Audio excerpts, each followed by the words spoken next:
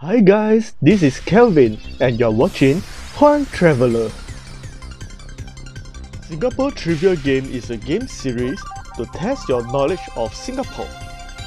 In this video, we will be playing Emoji, where is this? The game is simple. All you have to do is guess the Chinese name of a place in Singapore from the list of emojis shown. The correct answer will be shown after each question.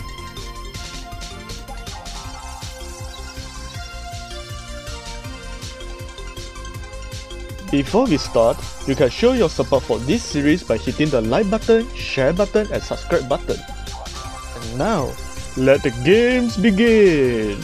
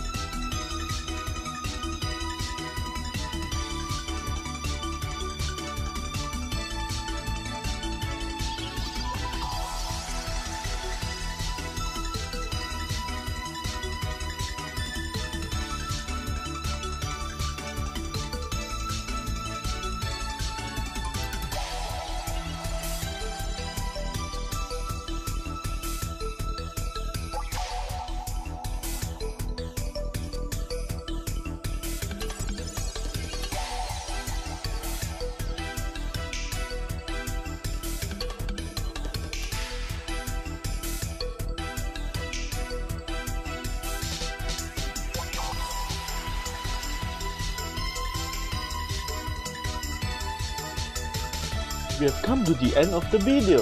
If you like my video, please hit the like button, share button and subscribe button. Thanks for watching.